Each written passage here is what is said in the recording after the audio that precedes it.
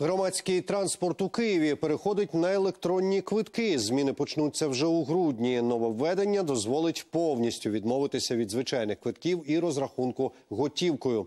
У Київпастранці пообіцяли до кінця року обладнати новими валідаторами та бортовими комп'ютерами 500 тролейбусів та автобусів.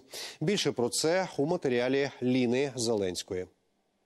Водія автобуса, який одночасно виконує безліч завдань, бере гроші за проїзд, відраховує здачу пасажирам, зупиняється на прохання ген біля того дерева, у Києві ви вже вряд чи побачите. У цьому переконують у Київпастранс. Відтепер пасажир зможе оплатити проїзд, скориставшись системою валідації.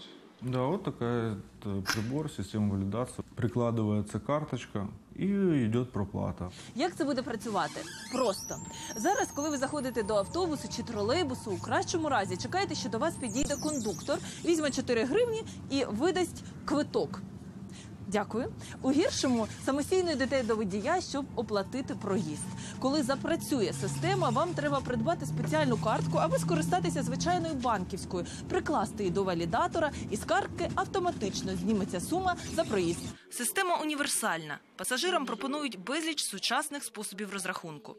Наприклад, е, якщо у вас є безконтактна е, карта, якою ви користуєтесь в київському метрополітені, ви також зможете нею скористуватися. Якщо у вас є сучасні електронні часи, ви теж зможете розрахуватися електронними часами. Або е, також є можливість згенерувати QR-код на вашому мобільному телефоні. Ви можете розрахуватися за допомогою цього QR-коду. До речі, в такий спосіб можна оплатити одну поїздку або півгодини чи годину користування будь-яким видом громадського транспорту Пассажиру надо проехать одну остановку, он платит 4 гривны. И второй пассажир, который едет 10 остановок, он платит те же 4 гривны. Тариф подобрать под э, каждого пассажира, который пользуется наземным транспортом.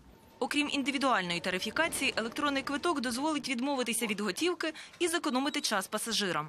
Прийшли, картку приклали і все. Ви за. Звісно. Звичайно, це дуже буде зручно для пасажирів. Проте від електронного квитка у захваті не всі. Многие против. Многие. Потому что боятся остаться без работы, особенно наши пенсионеры. У Київпастранці кажуть, про кондукторів подбають, перекваліфікують їх на контролерів та водіїв, збережуть пільги, картку киянина і за зайцями стежитимуть пильніше. Водитель будет э, видеть сразу у себя на мониторе водительской кабины, сколько людей проплатило. Например, зашло 100 человек, а проплату сделало 20 человек. Он нажимает кнопку. Тем самым вот этой кнопкой он вызывает контролера. Найближчим часом електронні квитки запровадять в Вінниці, Львові та Харкові. Ліна Зеленська, Іван Мотриченко. Новини. Телеканал Інтер.